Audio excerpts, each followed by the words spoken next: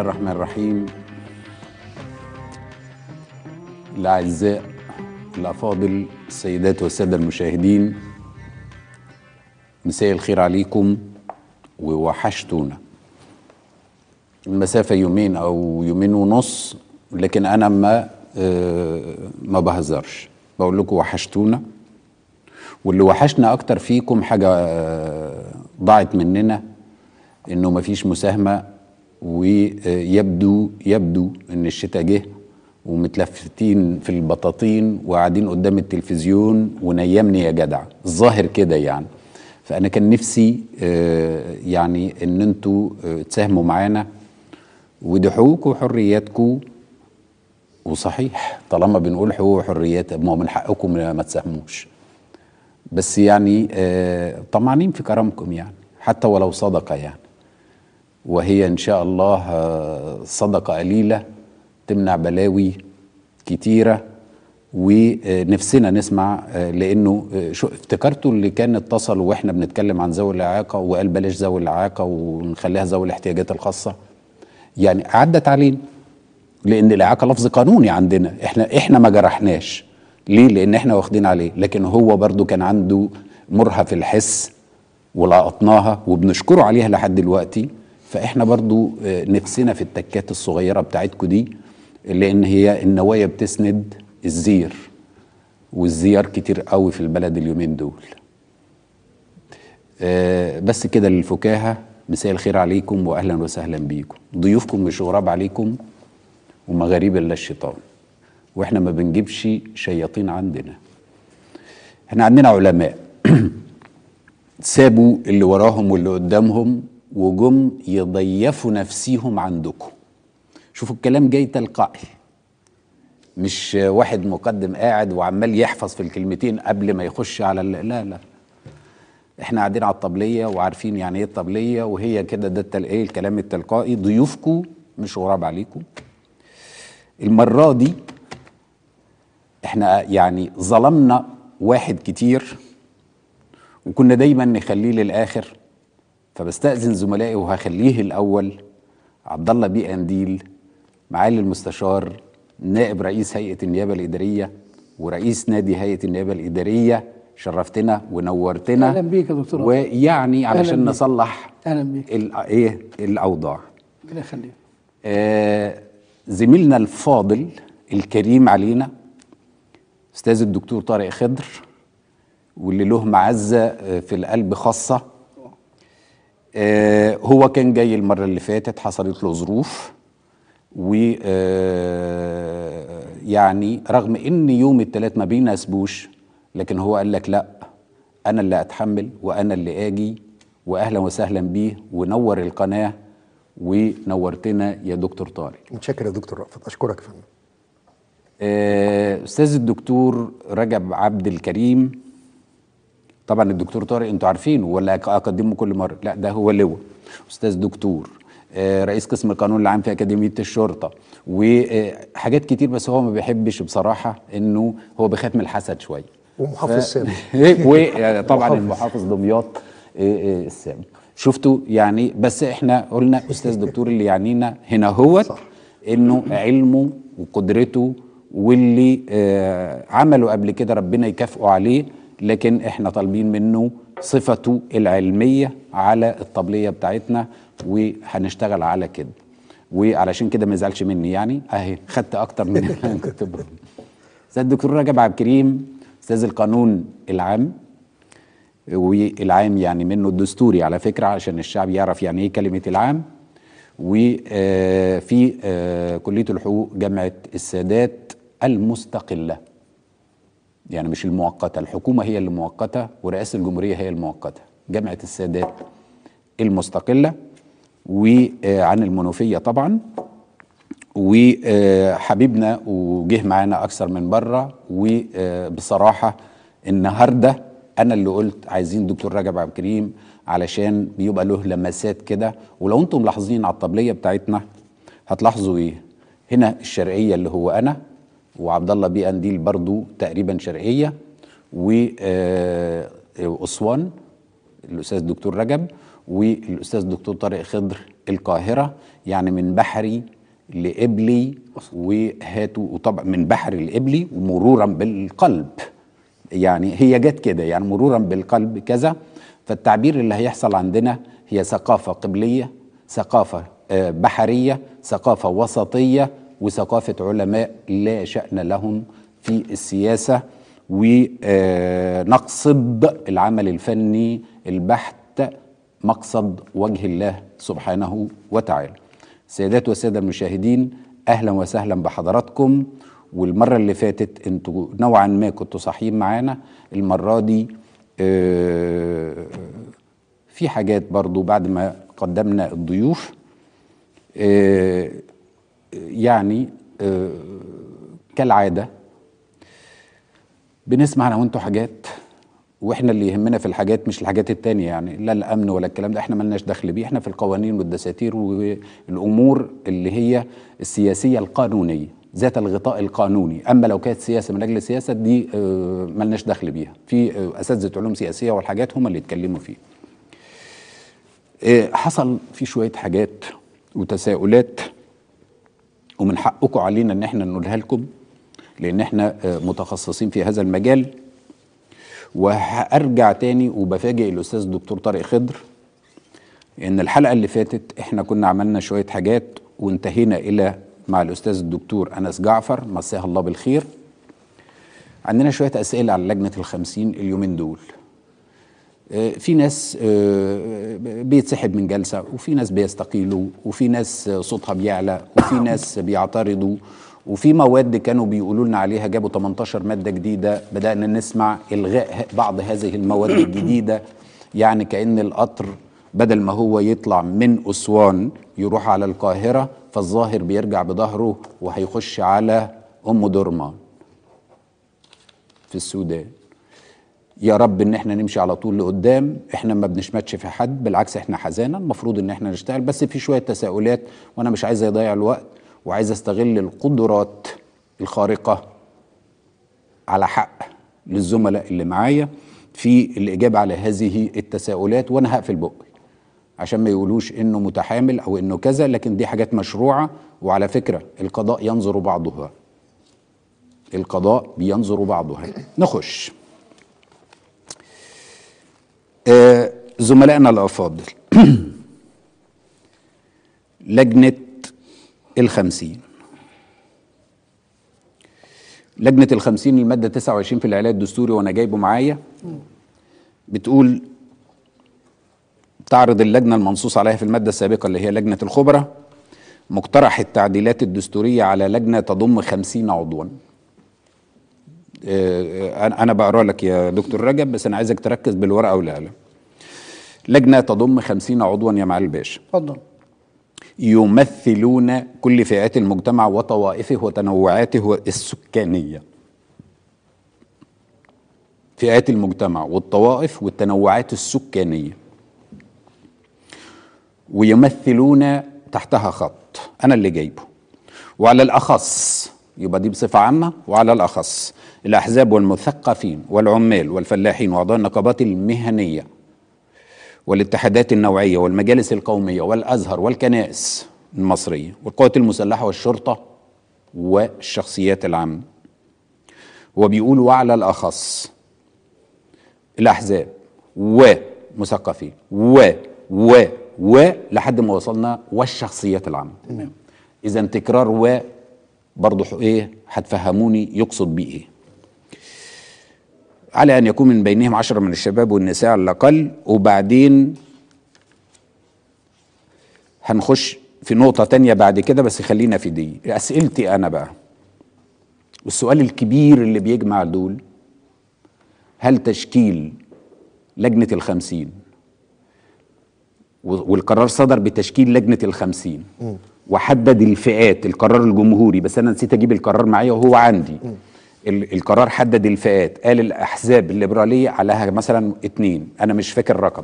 الأحزاب الدينية اتنين. الأزهر أربعة. الكنائس أظن معرفش أربعة. المهم إنه قال كذا. ال- النقابات إيه؟ قال عليها كذا. كذا إيه؟ وبعدين حدد في نفس الوقت مين اللي يختار. من الفئات دي. فالنقابات المعروف مين اللي يختار من النقابات؟ مجالس إدارة النقابات. النقابة نفسه. مين اللي يختار من الجامعات؟ مجلس, مجلس الأعلى الأعلى للجامعات. دول اللي هيختاروا. مين اللي هيختار من الأزهر؟ اللي هو هيئة كبار العلماء أو مشيخة الأزهر. دول اللي هيختاروا. أنا اديت أمثلة بس مش هخش في الحاصر حلو قوي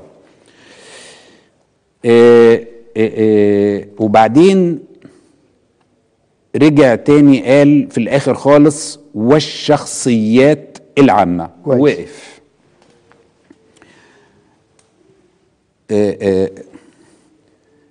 أنا أنا حاسس إن أنا يعني مخنوق في حاجة معينة. إيه هي؟ لما يقول لك وعلى الأخص الأحزاب يبقى فئات المجتمع وطوائف التنوعات وعلى الأخص الأحزاب والمثقفين والعمال و و و و و و والشخصيات العامة.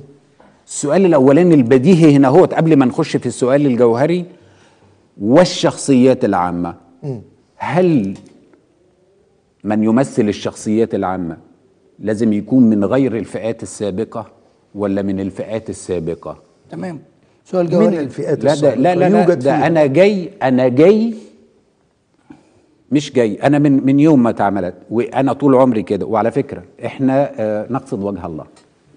وإيه كمان؟ ونقصد قبل ما يجاوبوا على الأسئلة إن حد يلقط حاجة ويطلعوا يهدوا اللي بيتبني فيا اللي في بيتنا احذروا الكلام هذا وخدوا آراء زي ما أنتوا عايزين.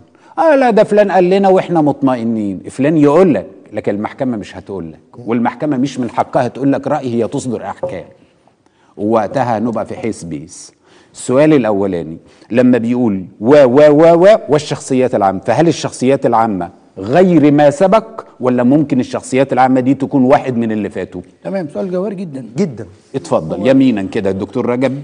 وحقيقة اللي أنا فهمته من التساؤل إحنا عندنا في حس... تساؤلين التساؤل الأول هو آه، هل الواو هنا للمغايرة ولا لتكرار فأنا شايف إنها والشخصيات العامة إن دي مختلفة عن كل ما أتى بعد الواو يبقى مختلف عن اللي قبليه كويس الحاجة قول. التانية. كويس أنا مش قايل حاجة آه الحاجة الثانية من من الذي سيقوم آه، يعني الفئات دي كلها في عندها مجالس إدارة فيها جهات هي اللي بتختار أيوة. الشخصيات العامة الذي يختارهم قال لك مجلس الوزراء إيه؟ لا لا لا لا مجلس الوزراء في. قرار التشكيل أنا حافظ قرار التشكيل أيوة، بس أنا نسيت. أجيبه ق- قال لك إيه وشخصيات عامة اللي هم اللي هم بيتم اختيارها. بمعرفة مجلس الوزراء. اذا اللي بيختارها مجلس الوزراء ده ده أنا بريحك على هذه النقطة. لكن هي أنا بحدد من هي الشخصيات العامة وهل هي يشترط أن تكون من غير ما سبق من الفئات أيوة. ولا لازم تكون ولا ممكن مش لازم ممكن تكون من نفس الشخصيات اللي فاتت من الأحزاب والأزهر و و و و و, و. السياق في تقديري آه، أو رأيي يعني إن آه، دي تختلف عن آه، ما سبقها يبقى لازم يكون اللي هيختار من شخصية عامة ماهوش منتمي. للفئات السابقة ده ده رأي رأيي الدكتور. رجب عبد الكريم أستاذ دكتور طارق خضر هل من الملائم أن يتم اختيار الشخصيات العامة حتى لو الواو جت. ولازم هل من الملائم أن أنا أختار شخصيات عامة من الفئات السابق ذكرها قبلها؟ يعني هل من الملائم أن أنا يحصل ازدواج عندي وأختار شخصية عامة وهو عضو في أحد الأحزاب؟ هل من الملائم أن أنا شخصية عامة اختاره وهو عضو في نقابة من النقابات؟ وهي ممثلة أصلا وهي ممثلة قبليها. أمال إيه؟ هل من الملائم ان أنا اختار شخصية عامة وهو من العمال والفلاحين السابق ذكرهم في والممثلين بنسب والممثلين معينة. بنسب معينة. أنا شايف أنه من غير الملائم تكرار الإزدواج وأن يتم اختيار شخصية عامة وهي في ذات الوقت تنتمي إلى حزب من الأحزاب أو نقابة من النقابات عمالية كانت أو مهنية أو تنتمي مثلا إلى جامعة من الجامعات. أنا شايف إن الملائمة تقتضي إن أنا أختار شخصية عامة من خارج هذه الطبقات الوارد ذكرها. أنت قلت لي كلمة محيراني وكررتها كتير. إحنا في ملائمات ولا في شرعية؟ إحنا في شرعية. لكن طالما إن الشرعية بيقولوا واو ويمكن إنها الشخصية العامة تكون من هنا ومن هنا هنا بنستنهض الملائمة وبنقول حتى لو المشروعية موجودة في الاختيار يا أصحاب الرأي الذي يقول أن الشرعية الواو هنا تفيد هذا أو تفيد ذاك أنا بقول لهم لا. الملائمة في بعض الأمور ومجلس الدولة حتى أنه يأخذ بالملائمة في أحكام عديدة وكثيرة أنا بقول رأيي في هذا الخصوص من غير الملائم أن يتم اختيار شخصيات عامة من ذات الفئات التي سبق ذكرها فيها وممثلة في لجنة الخمسين. طب حلو قوي شيخنا. أنا طبعا أقر آه، أستاذنا الكريم دكتور رجب فيما ذهب إليه من الواو تفيد المغايرة. وهآتي إلى ذات الراي الدكتور طارق بس من المقابل. أيوه. فأقوله إزاي بقى؟ أقول أن اختيار الشخصيات العامه أيوه. من بين ذات الفئات السابق تعدادها من قبل أيوه. أعتقد أنه يبطل عمل الجمعية ويبطل تشكيلها. انت جيت في النتائج وإحنا عايزين نعرف الأول إنه إنه الأول مختلف ولا مش مختلف؟ مختلف وبالتالي كان يجب أن تكون الشخصيات العامة غير الفئات السابقة. إنما اختيار نفس الشخصية العامة من ذات الفئات يبقى كأني ما اخترتش حد من الشخصيات العامة أو أن هناك في ازدواج زي ما الدكتور قال واخترت من الجهات دي أعضاء يزيدون عن النسبة المقررة أو أهدرت بعض الفئات وبالتالي عمل كم كم عدد الشخصيات العامة؟ آه، لا أنا أنا فاكر ال- تقريبا البتاع. 10 هم- أو حاجة زي كده. لا آه، 10 معايا ولا خمسة شخصيات لا أكثر من 10 كمان. ومجلس الوزراء اختار أكثر من اللي هم 10 10 أيوة. 10 أيوة. العشرة العشرة دول حضرتك لو جيت تفحصت فيهم هتلاقيهم هتلاقيهم سعادتك أنا- ينتمون إلى ذات الجهات المنصوص أنا عليها. مش لو جيت تفحصت. أنا أسئلتي وحاجتي جت لإني تفحصت وتمحصت بالظبط كده. وبعدين ضربت في دماغي وخايف على ثورة 30 يونيو. وبت- وخايف لو واحد يلقطها ويروح على مجلس الدولة ويجيب لي بطلان ونرجع تاني حس في بيس. نرجع أدي لل- خوفي. بالظبط. أدي خوفي. أنا مش خايف إنه يقول لك آه أصله ما هو واحد قالها لي على فكرة. أنتوا فاكرين اللي قال لي ألم تقرأ نظرية التعديل الشامل وهو عنده ليسانس حقوق؟ و- وايه قلت له لا والله ما أنا ما قريتهاش لأني ما لقيتهاش. ويبدو إن عليا إنه آه، يعني إنسان آه، يعني مش مهم مش مهم, مش مهم. فأنا برضو أنا خايف من حاجة معينة. أنا مش علشان أنا أكون أنا مش شخصية عامة ولا حاجة. ولا أي حاجة خالص بالمرة. أنا أستاذ بس في جامعة القاهرة ويكفيني هذا. لكن اللي أنا عايزه إن ما حدش ياخد أخطائنا وإحنا نفضح بعض بيها ونقول يا جماعة في أخطاء ويا جماعة اعملوا ويا جماعة انهضوا ويروح يجيب لك حكم ويقول لك لا ده أصل فوده كان بيقول. ده. طب وهو ما إحنا قلنا قبل كده كتير ومع ومرسي ما سمعش كلامنا وعلى قناة ميسات. وجيت قلت أنا بنصح ابن بلدي. وبقول له نصيحة لوجه الله. أنا لا عايز منك أسود ولا أبيض ولا كذا. اللي أنت عامله غلط وكان ممكن توصل لنتيجة كذا والطريقة كذا. كنت بقول له ليه؟ كنا عشان نستمر وتمشي ويخلص الأربع سنين بتوعه لكن ربنا أراد بحاجة تانية إنه يعمي بصره علشان خاطر الشعب. والحمد لله مشيت. الشخصيات العامة غير الفئات غير. الفئات وبالتالي طيب ه- ه- في نقطة الشخصيات ومش بس الشخصيات العامة ده أنا بدأت بيها. ده مثال. ده أنا بدأت بيها. آه سؤال تاني. ال- القرار التشكيل لما صدر وموجود عندي وممكن الزملاء هنا في الفريق يطلعوا لنا قرار تشكيل من على النت قرار تشكيل لجنة الخمسين. موجود بقرار من رئيس الجمهورية. بيقول إيه؟ آه، ال- ال- آه، الشخصيات العامة بتقولوا عشرة من الخمسين. آه، كويس أوي. هو حدد هو حدد الفئات. قبل ما يتم ترشيحات والأسماء ونعرف الأسماء ما هو تم بناء على هذا الترشيحات. أنتوا عايزين إيه يا عم الأحزاب الإسلامية؟ قالوا اتنين. مين اللي قال؟ القرار بتاع التشكيل. تشكل الايه من الفئات الآتية ونسب تمثيل كل واحد منهم. الأحزاب الإسلامية اتنين. وانتوا عارفين الهيئة العليا للحزب هي اللي بتختار. طيب كلام جميل جدا. وبعدين آه، آه، آه، المجلس الأعلى للجامعات عايزين واحد. هو اللي يختار واحد يمثل إيه؟ الجامعات. اذا القرار كان بيقول تمثيل الجامعات تمثيل كذا. الشخصيات العامة مجلس آه، الوزراء. مجلس الوزراء يختار العشرة دول أو الخمسة. أنا شاكك في الرقم لكن مش مشكلة على ما يجي لنا من ال- الفريق. حلو قوي مجلس الوزراء اللي بيختار. آه، آه، لما اختار واحد من الجامعات. خليكم معايا. اختار واحد من الجامعات.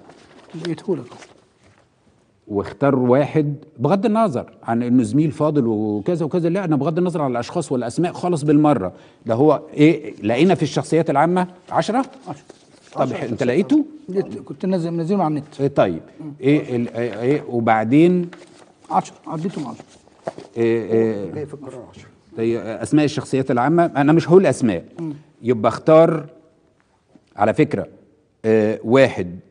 آه أستاذ جامعي أهوت اتنين أستاذ جامعي إيه اتنين أنا بقى أنا بشوف بقول لكم اتنين جا- جامعيين وأنا ما أعرفش آه، الباقيين هدى الصدى منين وسعد الدين وعبد الجليل مصطفى ومحمد غنيم ومجدي. يعقوب والجماعة هنا يبقى أستاذ جامعي أستاذ جامعي آه، في الجامعة بهزر. آه. خلونا خل بغض النظر عن الأسماء حلو قوي يبقى لما اختار مجلس الوزراء في الشخصيات العامة لقينا ناس أساتذة موظفة بتقبض مرتبات في الجامعة. مثال. خلاص؟ طب هو قال في قرار التشكيل إن الجامعة بيمثلها واحد. واحد.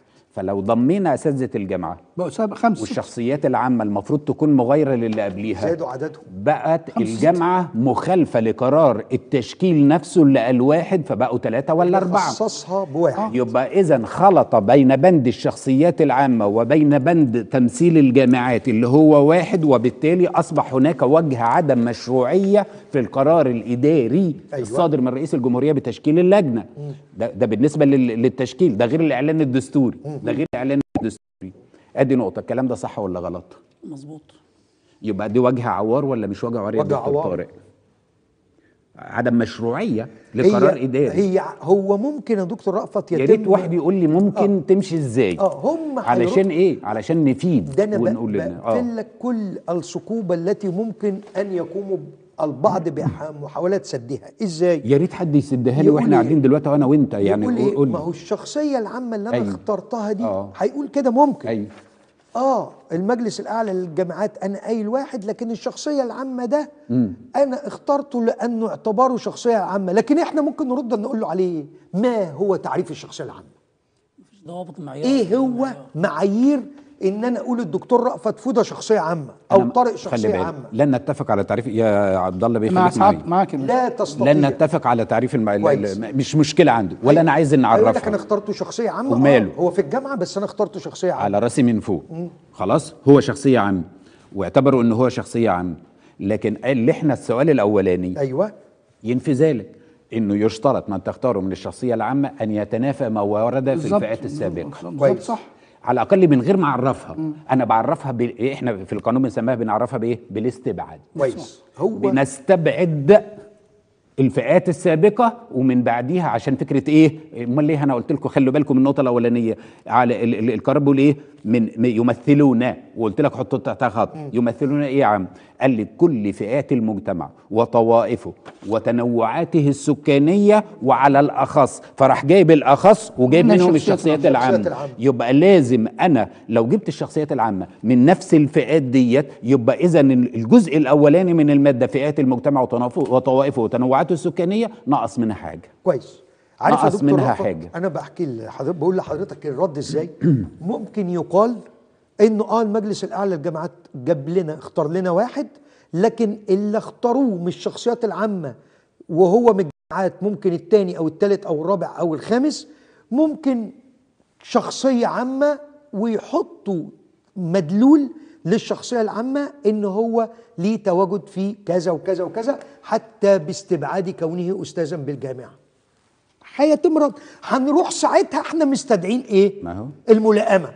هنقول له بقى طيب حتى لو كلامك صح. تنوع فئات المجتمع كويس جدا. وطوائفه وتنوع كويس جدا. هنقول حتى لو كلامك صح. هل يا سيدي الفاضل الملائمة تستوجب أنك تحصر الشخصية العامة أربعة منهم والبلد ما فيهاش أساتذة شخصيات وهي لا ده إيه؟ يعني لا لا لو عامة. فيهم وفيهم فيهم شخصيات عامة. على فكرة ما بتكلمش على أساتذة الجامعة بس ده أنا مثال. لا وعندك آه، أحزاب. أنا عارف. وأحزاب ممثلة, ممثلة سلفا في في, الليبرالية. أنا عارف. وفي أداء أشخاص أهيت مش عايز أقول أشخاص. تمام. يبقى بلاش اساتذه الجامعة عشان ما يزعلوش مننا اساتذه الجامعة تعالى جاب لنا رئيس حزب وحطوا خدوا من الشخصيات العامة. أيوه. والأحزاب اللي وهو حزب ليبرالي. وحزب. والأحزاب الليبرالية ممثلة مش عارف بكام. بثلاثه بأربعة باثنين أنا ما يهمنيش. طب ما هو ده والحزب ممثل. وهو رئيس حزب. وكذا. جاي تاخده من الشخصية العامة. يبقى الحزب ده خلي بالك الليبرالي أيوة، أيوة، أيوة. لا لا لا لا لا ده أنا عايز أوصل لأبعد من ذلك يا شيخنا يا شيخنا اتفضل. إن أغلبهم ليبرالي وإنه قوى شوكة الأحزاب الليبرالية بما يخالف نص التشكيل وما جابش من الإسلاميين إيه زيهم وبالتالي حصل الخلل في عدم التوازن الجمعية في التشكيل. أدي النتائج القانونية المترتبة على مخالفة التشكيل المعايير. إنه خلي بالمعايير وبالتالي النسب ديت ما عادتش صورة طبق الأصل من الواقع بالظبط دكتور رجب عايز تقول حاجة. عايز أضيف بس نقطة. اولا بالنسبة للنص مع صراحة ال- الألفاظ والنصوص أيوة. لا مجال للتأويل والتفسير. إلا الاخذ. الألفاظ بمعانيها. صح. آه مباشر. عندنا نص صريح. أيوه. مش محتاج إن إحنا إيه يعني حد يقول لنا رأي آخر. والله يعني إحنا أنتوا ممكن الشخصيات العامة. بالظبط كده. آه طيب. فالنص صريح. نمرة اتنين أيوة. برضو آه، يعني آه، يعني استكمالا لكلام أستاذنا الدكتور طارق بيه يعني. أيوه. يعني الحقيقة هي الملائمة دي عنصر في الشرعية. يعني الملائمة نفسها دي عنصر في الشرعية وبالتالي يعني هو عندما نص على هذه الفئات هو آه، يعني آه، يعني حط في اعتباراته الملائمة لأن قال أحزاب كذا وكذا وكذا وكذا برافو عليك والجملة اللي قبليهم اللي آه، هي فئات. المجتمع وطوائفه وتنوعاته وهنا وعلى يعني. كان الهدف إنه والله الملائمة. الاخص ده والشخصيات العامة تيجي أيوة. عشان تغطي الباقي تمام. عشان تغطي الباقي. ما أنا قلت لكم الأحزاب أنتوا جايبين لي رئيس. حزب الملائمة ما ده طبعا. ده عنصر من عناصر عناصر. من فبالتالي هو لم يراعيه ذات السلطة التقديرية طيب، عشان أحسن بالظبط كده اتعلمنا من سعادتك يعني. الله يخليك فاللي عايز أقول لحضرتك إن. النصوص صريحة آه، ولا تحتاج تأويل خلاص والحقيقة في النقطة دي النصوص إذا. إحنا متفقون أن هناك وجه عوار في هذا قد قد قد وحطوا تحتها ثلاث خطوط لأن إحنا بنقول آراء هنا اهوت أهوت وإحنا فقهاء إحنا مش قضاة. لما تروح للقاضي يبقى القاضي يقول اللي هو عايزه يقول لك الناس دول لا ده هم محبكينها شوية مزودينها تمشي. خلاص يا عم متشكرين بس أنا بقول خلي بالكم من الأعداء خلي بالكم من الأعداء. لا يلوطوا واحد يقول لك طب ما تقفل بقك وتسكت. ما أنت اللي بتعرف الأعداء. لا ما هو بيقول لك إيه؟ حصنوا أنفسكم الوقاية خير من إيه يا سادة؟ بدل ما تروح قدام مجلس الدولة وتقعد تترافع ورئك ينشف. يا عم ما من دلوقتي. ادي أدي رأي. دي أول نقطة. أول وجه من وجه عوار اتفقت عليه الأربعة وبالذات. وبالذات أنا مش. بخص بالذات يعني ميزة ل- آه، آه، آه، شيخنا لأن إحنا بناخده بركة يعني معانا وأساتذتنا آه، حبايبنا يعني. طيب أدي أول وجه. خشوا بقى في التاني. السؤال هايف جدا والسادة المشاهدين إيه يعرفوه. تعرف تقول لي يا دكتور طارق مجلس الدولة لما حكم ببطلان تشكيل جمعية مرسي كان السبب الرئيسي إيه؟ آه فاكروا ولا لو مش آه طبعا لا لا فاكره. والدكتور رجب يفكركوا كان وعبد. الإعلان الدستوري الصادر في 30 60 مادة 3 60. 2011 في المادة رقم 60 أيوة. بيقول لأعضاء مجلسي. الشعب والشورى غير المعينين أيوة. يعني المنتخبين هم اللي يختاروا هم اللي يختاروا طيب ماشي فهم يختاروا يعني يختاروا من غيرهم ولكن للأسف فسرت إنه بيختاروا من داخل المجلس. من الداخل مجلس الشعب. فهو اختاروا الجمعية ماشي. التأسيسية. ومجلس الدولة اعتبر ده إيه؟ واعتبر إن ده إخلال. طبعا اعتبر إن ده وخروج مخالف. بالنص في غير مقتضاه. تمام. اعتبر إن ده في الجمعية التأسيسية الأولى. اعتبر إن ده مخالف لنص المادة 60 لأن هم من غير المعنين يعني المنتخبين بيختاروا من غيرهم. يعني هم كهيئة ناخبين يختاروا غيرهم من خارج مجلسي الشعب والشورى. إلا أن للأسف يعني أنا لما أقول لك شوف لي عروسة ما تروحش تجيبها وتتجوزها. استحالة. صح ولا لا؟ يبقى تجيبها لي أنا. فهم قايل لهم أنتوا أيوه اختاروا من غيركم. اختاروا من غيركم. بالبلدي هم خدوها واتجوزوها. اختاروا من براكم. إحنا بن... بن... بتضحك ليه يا شيخ؟ مش هو ده الصح هو يبقى يبقى شاطر هو ده. الصح ولا إيه؟ الدكتور هات موجودة في هو الشرعي. شاطر موجودة في الفقه الشرعي الله فهو اختاروا من غيركم بال- باللغة العامية لكن هم اختاروا منهم حلو متفق.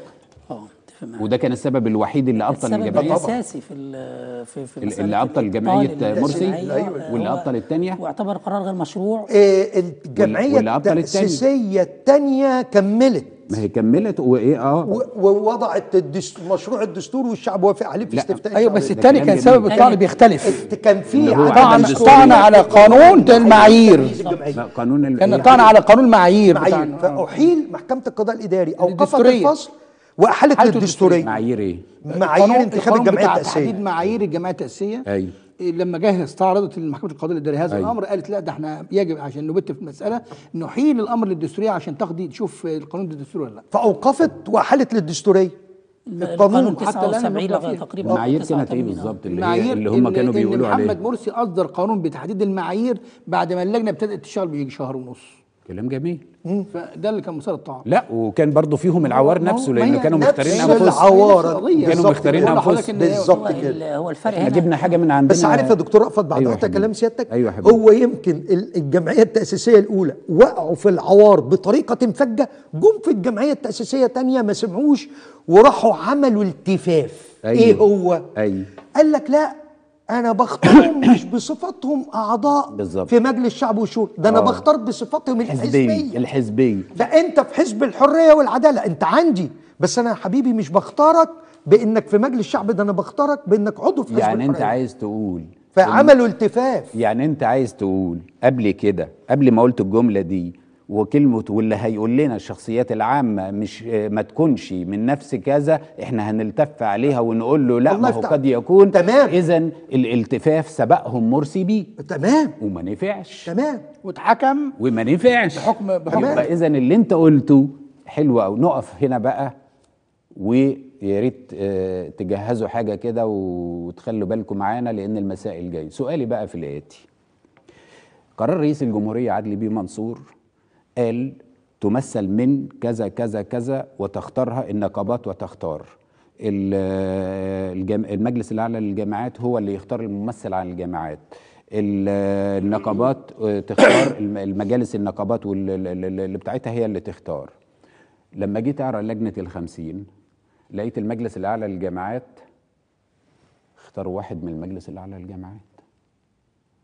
أحد رؤساء الجامعات. اختار منه. مش من بره. منه. من من نفس عضو نفس عضو. رئيس جامعة. ما هو بقوة الدستور وبقوة القانون عضو آه، مجلس أعلى الجامعات اللي بيختار اختار منه. ما رحنا النقابات لقينا مجلس الإدارة اللي اختار والجمعية العمومية اللي اختارت اختارت النقيب اختارت منه. حصل. ما اختارتش من خارج الجهة اللي بتختار. المجلس النقابي. الجهة اللي بتختار. صح. مجلس الوزراء لما اختار ما جابش حد من مجلس الوزراء. يعني الوحيد اللي اللي اللي طبق المعيار الصح مجلس الوزراء لأنه خد ش... أي نعم اختار شخصيات عامة ما هياش شخصيات عامة تحت بند الشخصيات العامة لكن الوحيد اللي ما خدش من مجلس الوزراء. صح. لما جم الأحزاب اختاروا من الهيئة العليا للحزب والهيئة العليا للحزب هي اللي بتختار. يبقى أنا عندي دلوقتي في أكتر من سبب لبطلان انت أنت بتصادر ليه على المطلوب؟ مش بصادر ما إحنا جينا كده أنا عايزك. تعلق الأول تقول لي هو خطا أنت هو, هو أنا هقول. إيه؟ ما أقدرش أقول فيه حاجة غير إنه خطأ. هو مخالفة المعايير في حد ذاتها بدءا من تجاوز الفئات إلى اختيار الشخصيات والكلام ده كله. إلى ذات الجهة نفسها بتختار من نفسها وليس من الجهات التابعة ليها. يبقى ده كله بيندرج تحت فكرة مخالفة المعايير الوارد الواجب مراعاتها عند تشكيل اللجنة. يعني المفروض مجلس الاعلى للجامعات لما كان يختار اختار من يجيبش مش من-. المجلس. اختار من يجيب الجامعة مش أستاذ من جامعة. من بره. زي ما قلت من بره. ويمثل الجامعة. طبعا. مش من مجلس الاعلى ما يشترطش يكون قانوني. لكن ال- المهم إنه يكون من. الجامعة. ما يشترطش مش من يكون- الم... من صح كده. ما هو مش أنت كنت بتضحك لما بقول لك اخطب لي وراح خدها. طب ما هو ووزعوها على بعض. صح. أنتوا نسيتوا حكم مرسي؟ نسيتوا مجلس الدولة؟ اللي عايز أقوله كمان ده قول والنبي، ما تطلع اللي عندك كله. مشروع فهو مخالف أصلا للحكم بتاع محكمة ال- القضاء الإداري. مخالف يعني الحكم نفسه لحجية يعني آه، حط لنا ارسم مبدأ بالظبط. ارسم أنت عايز. تقول كده، أرسم فقال مبدأ. الاختيار ما دام هو الاختيار طالما كان يبقى لك لازم جهه بالاختيار. يبقى تختار من خارج من الجهة. وليست من فأعتقد الجهة إن المجلس حتى لو عرض عليه الموضوع ده سبق الفصل فيه يعني هيطبقه هيكون عنده كمبدا قانوني. هيطبق المبدأ مبدأ القانوني. هيطبق المبدأ. القانوني هو مخالفه المعايير كلها النقطة ال- ال- ال- ال- ده الوحيد أبطل بتاع مرسي الأولاني الجمعية الأولانية بالظبط. الوحيد إحنا دلوقتي لقينا اتنين لقينا اتنين لحد دلوقتي. متفقين على وجه العوار سببين. سببين أهو. تمام. وانت وفيه مبدأ للإدارية العليا ومحكمة النقض والمحكمة الدستورية العليا مجمعين على مبدأ ودايرة توحيد المبادئ بتقول لك أيوة. إيه؟ إذا تبين في القرار وجه من أوجه عدم الطعن فيكتفى بهذا الوجه لإلغائه ولا داعي للتعرض القرار لباقي صور الطعن الأخرى.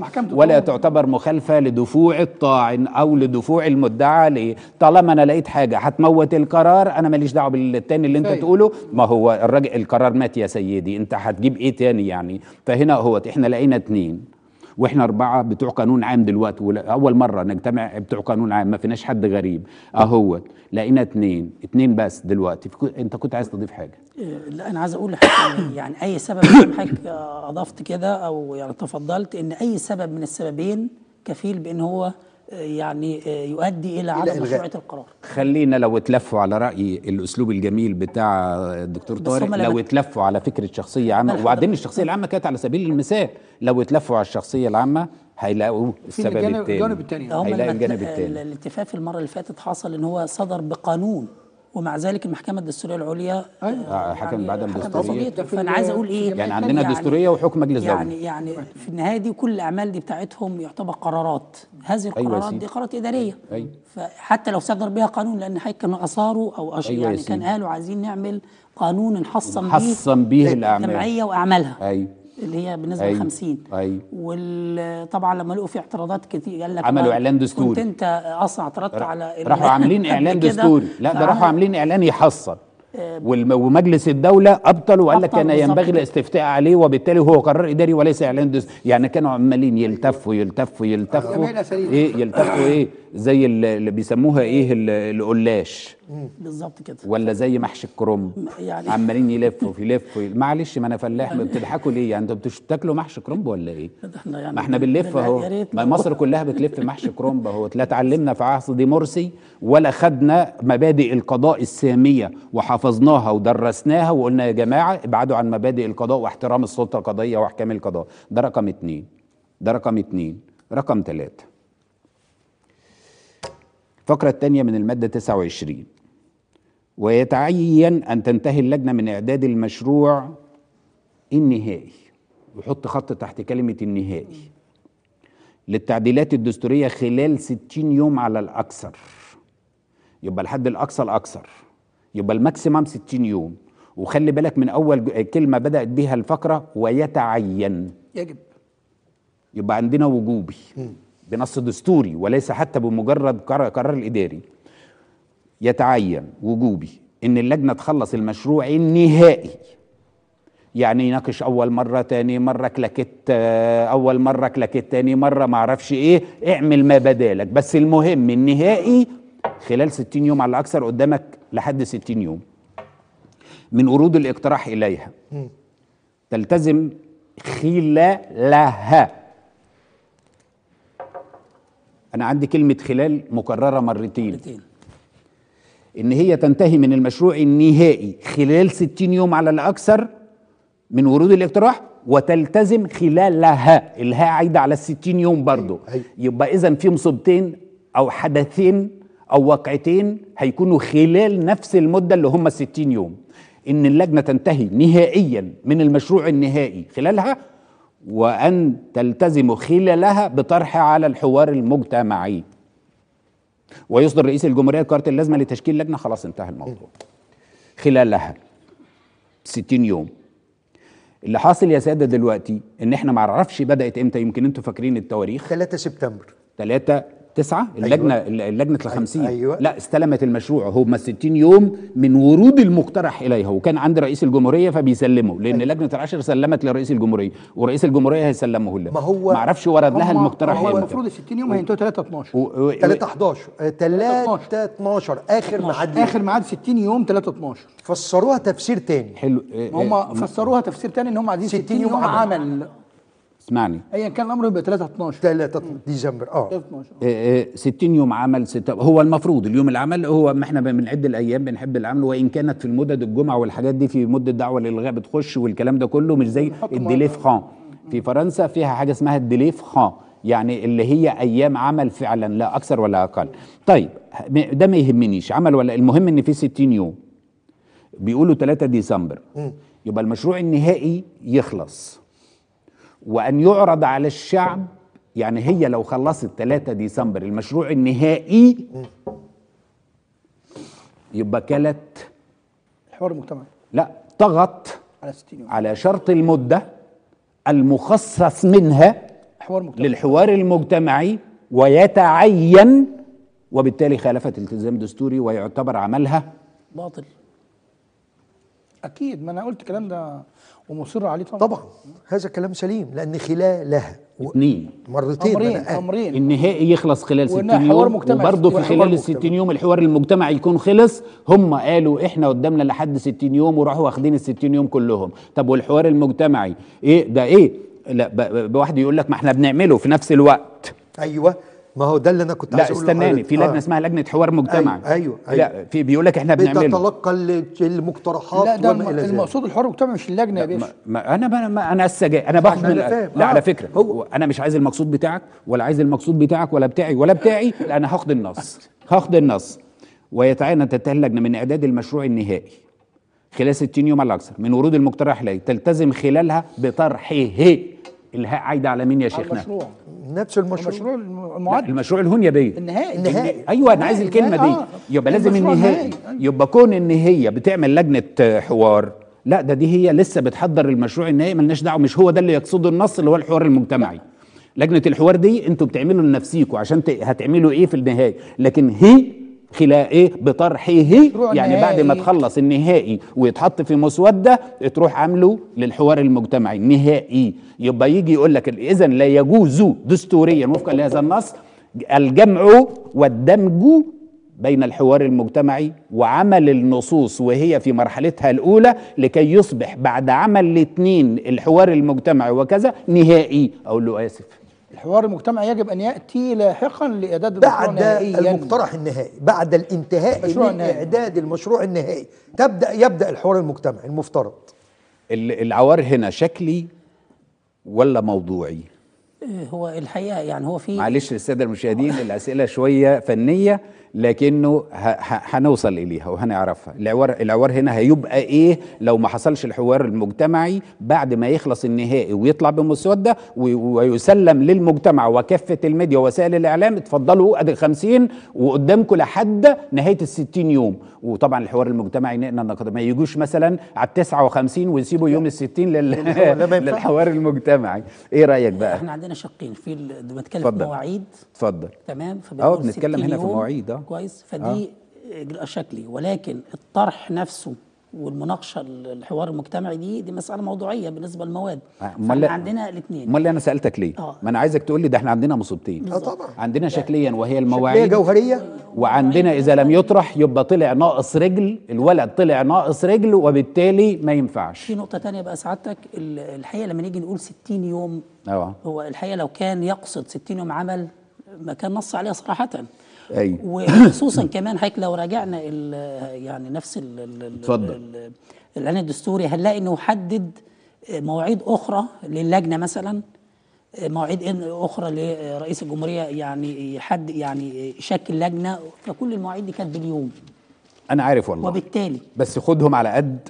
بس أنا عايز أقول إيه يعني إحنا ما كانش فيه حتى لا اللجنة غيرت فيه. يعني ميعاد دعوة للإلغاء إحنا ما بنعدش فيه يوم عمل ولا مش يوم كده. عمل يعني إحنا بنقول لك من إيه؟ تاريخ كذا إلى كذا. الإعلان عن النشر ولا يوم لا آه. ما قلناش شهور. يعني ما قلناش شهرين يا مثلا. سيدي ماشي. هنديها لهم كرما من عندنا. وربما القاضي يستوقفهم يقول لهم آسفين النص لم يحدد يوم عمل فكيف تأتوا بيوم عمل؟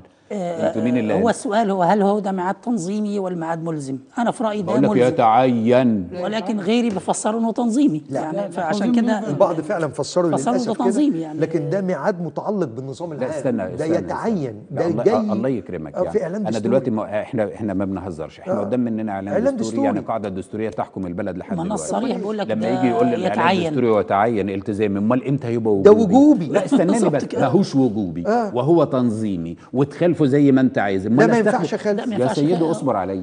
اصبر علي ما تحرقش. أنا يعني أنا حبيبك. خلي الحرق ليا أنا. آه. قول لي بقى قول لي بقى. هات لي نص في آه، كلمة في اللغة العربية تعني كلمة الوجوب غير غير يتعين. مش يتعين. ممكن مفيش. طبعا. أمال جابوا النظام منين؟ بنتمحك؟ ب- إيه، ماشي. تمحك. لكن لو جالك كقاضي وانت قاعد هتقول له يتعين ال- المشرع في بطنه وكذا وكذا وإرادته كان يقصد الحث على عمل اللجنة وسرعة العمل ولا كان بيقول لها يتعين؟ خلصي. أمال إيه؟ خلصي يتعين يعني لازم يتم في وجوبي. وجوب أمال ليه بتوقعوا على الموظف؟ وبعدين هو معاد سقوط ليه معاد بتوقعوا على الموظف موظف- عقوبة لمجرد إنه يهمل في أداء العمل وال- والنص بيقول وجب وجب على الموظف أن يقوم بعمله على الوجه اللازم؟ وجب ده ده بيقول له يتعين. ودوكها قانون وده نص دستوري. لا لا هو ميعاد سقوط أكيد وبعدين ما, ما نقدرش نقول ميعاد تنظيمي في خلال في. في إعداد دستور بلاد بننتظر معنى ذلك لو انتهت اللجنة. السؤال اللي عايز أقوله للسادة المشاهدين. لو انتهت اللجنة في 60 يوم على الأكثر 3 ديسمبر. ولم يتم عرض الجزء الآخر منه وهو الوقت الكافي وليكن 15 يوم على الحوار الوطني الحوار المجتمعي. يبقى اللجنة است... إيه استغرقت مدة الحوار المجتمعي وبالتالي تجاوزت شرط جوهري موضوعي لأن الحوار المجتمعي كان من ضمن. ال- اللي هو لا المشروع النهائي للتعديلات. الفكرة التانية من المادة 29. وحرمت المواطنين من الله. يا سيدي مش حرمت ما تحرمهم ما هم محرومين دايما. هو تخلف شرط زي ما حضرتك قلت جوهري. لا هو ده طب إيه رايكم بقى في سؤال ظريف قوي في الحتة دي هنقوله بشكل تاني علشان نبسط لأن إحنا فنيين وإحنا بنعتذر للسادة المشاهدين. يا شيخ السؤال ليك اتفضل. انت. اما يقول المشروع النهائي. ويقرن ذلك بإن لجنة الخمسين اتخلص في خلال الستين يوم والحوار الوطني يخلص في خلال الست نفس الستين يوم. يبقى النهائيه ما هي عناصرها هنا. عناصر إمتى يكون المشروع نهائي؟ المشروع نهائي إذا وإيه؟ والمطلوب من اللجنة إنها تعمل واحد نهائي. يبقى لو ما طلعش نهائي يبقى لا يعتد بهذا العمل. ما هي عناصر النهائية في هذا النص اللي أنا قريته عليه؟ نمرة واحد. أول حاجة إنه يتم من لجنة الخمسين؟ أكيد. بكامل بكامل بالتصويت بتاعها بالطريق بتاعها. ماليش دعوة. تمام. اتنين. الحوار. وأن يتم وفقا لإيه؟ وإلا ما كانش يبقى نهائي.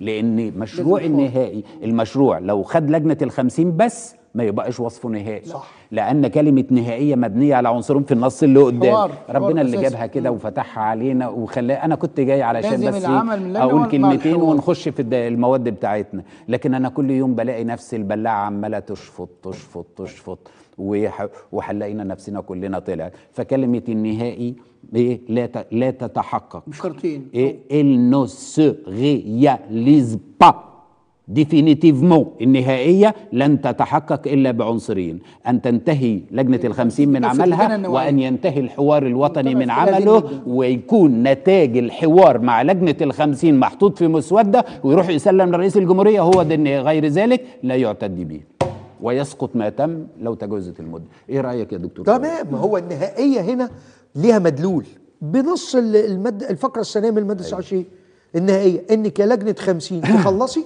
باللغة الشعب البسيطه بيقول كلمته. والحوار المجتمعي. تخلصيه بعد ما تتخلصي مشروعك تعرضيه على الحوار المجتمعي. بعد ما يخلص الحوار المجتمعي. هذا وذاك يكون لك نهائية المشروع. صح. غير كده يبقى العمل إيه؟ م- م- مبتور ناقص غير كامل غير مشروع. يبقى لا يعتد به. طبعا.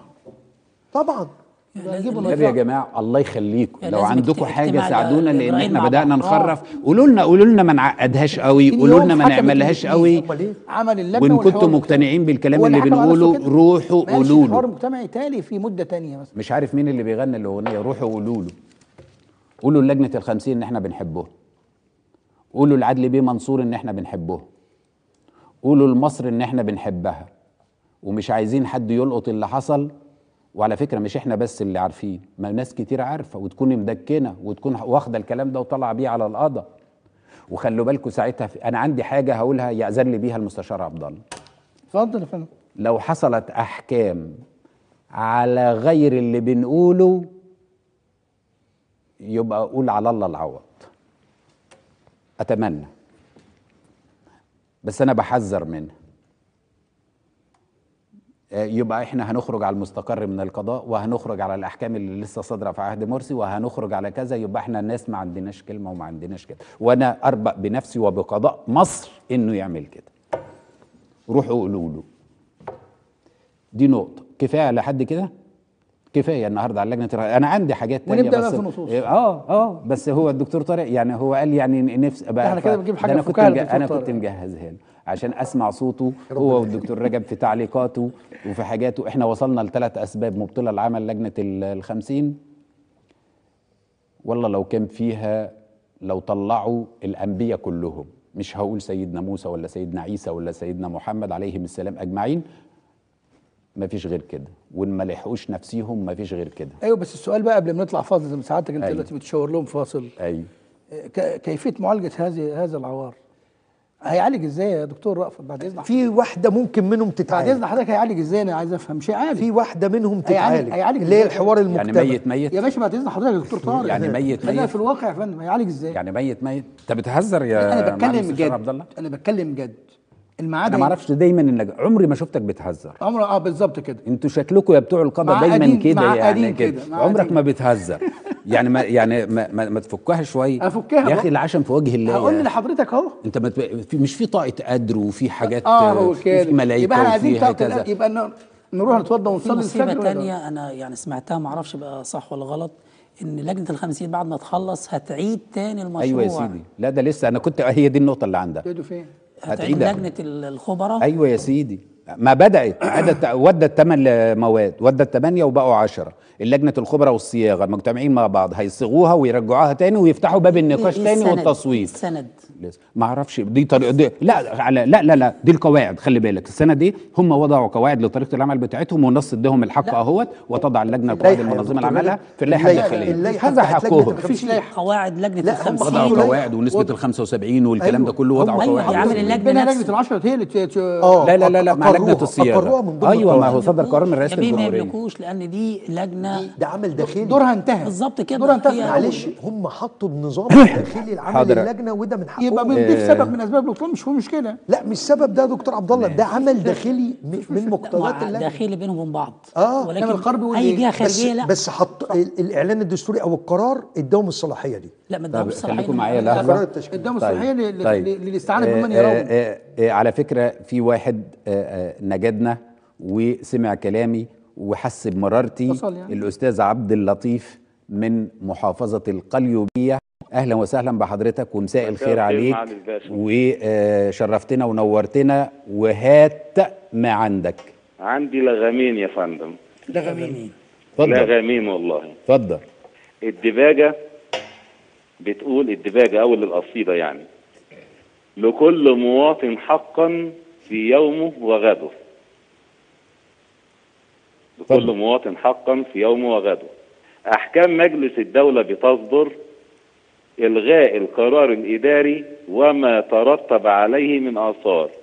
في الحالة دي المصالح الحكومية هتقول لك الدستور بيقول حقق في يومك وغدك. ما ترتب ده سابقا مش مدون في الدستور. دي نمرة واحد.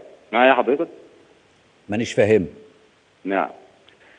فاهمها. خد. الدباجة الدباجة في الدستور زي ما علمتونا يعني أيوه إنها مادة فوق الدستورية. تمام؟ اتفضل. طيب. أما يقول لي في الدباجة لكل مواطن حقا في يومه وغده. أيوه يبقى أحكام مجلس الدولة ده أنا دستور يا أستاذ عبد اللطيف. ده في التعديل اللي في دباجة التعديل. في دباجه التعديل. ده آه، بند بند خامس أو سادس سطر. ثالث سطر؟ خامس خامس أو سادس سطر. آه. نحن جماهير وإن لكل مواطن حقا في يوم وفي غد. مظبوط. تمام. الأمس أيوة. فين بقى بتاع ما ترتب على القرار الإداري من آثار. أيوه مش موجود؟ برضه مانيش إيه الرابط بين هذا وذاك يا أستاذ عبد اللطيف. معلش خدنا على قد عقل. لا ربنا يخليك يا باشا. لما أنا باخد حكم من مجلس الدولة أيوه وبيقول لك يلغى ويلغى ما يترتب عليه من آثار. تمام كده. ما ترتب عليه من آثار دوت ممكن يكون حق في الترقية ممكن يكون حق مادي. أيوة. يعني. هيجي يقول لي الدستور بيقول المواطن له الحق في النهارده وبكرة. أيوه. بيروقراطية بقى.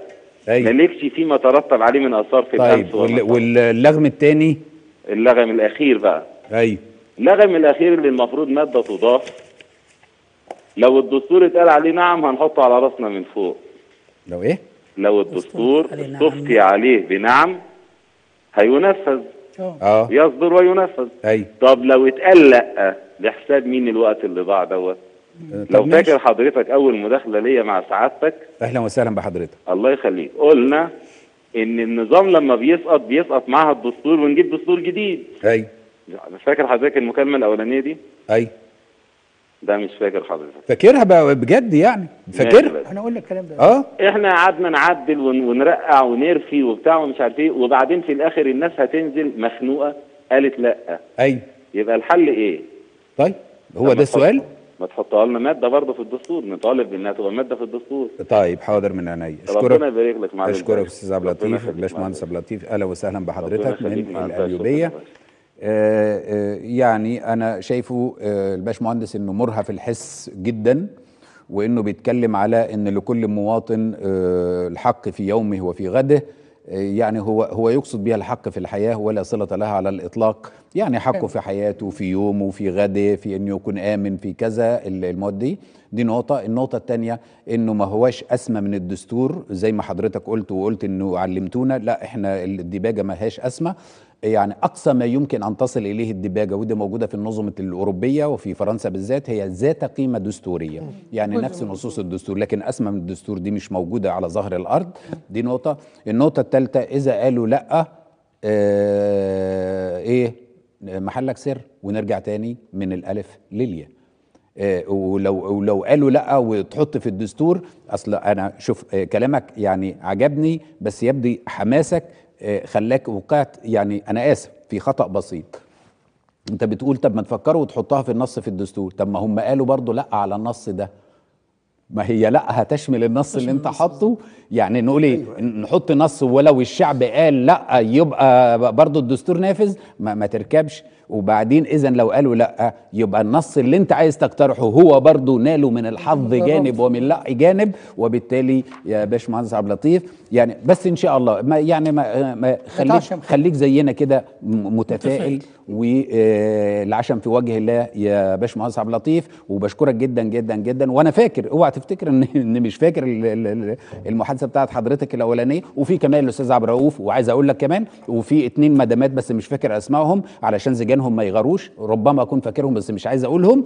آه، أدي حاجة. بس كده يعني. لكن لا إحنا فاكرين إحنا فيهم فاكرين مدام فيكتوريا. إيه كده مدام فيكتوريا وأنت كنت معانا في كنت مع حضرتك. وهكذا.